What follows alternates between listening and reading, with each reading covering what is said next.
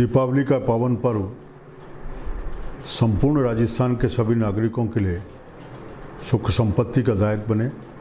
घर में लक्ष्मी का वास हो, सब जगह शांति का एक संदेश जाने की बात हो।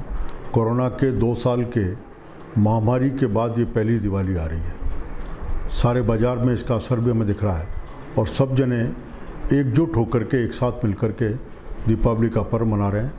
दीपावली के पर्व की ज्योति उन सब जगहों को प्रकाशमान करे, जहाँ अभी तक अंधेरा है।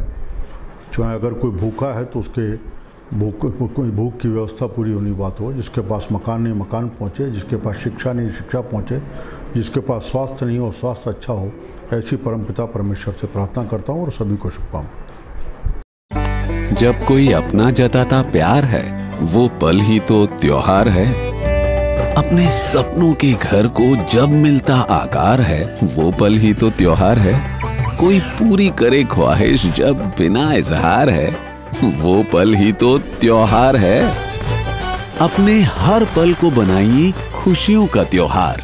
बरोड़ा होम लोन्स और कार लोन्स के साथ। Bank of Baroda